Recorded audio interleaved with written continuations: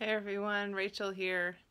I um, thought I'd post another video, this time talking about inspirational people and, and what they're doing to achieve their dreams.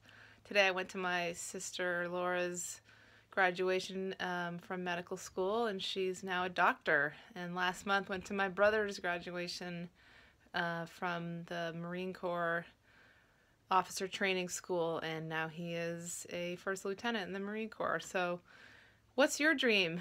That's my question. Do you have a dream that you've always had from since you were a child? I know both of them have always wanted to do those things. And uh, I never had that. I never had anything that I dreamed of being for my whole life. And uh, it took me a roundabout route to get to where I am now. We all have our own paths.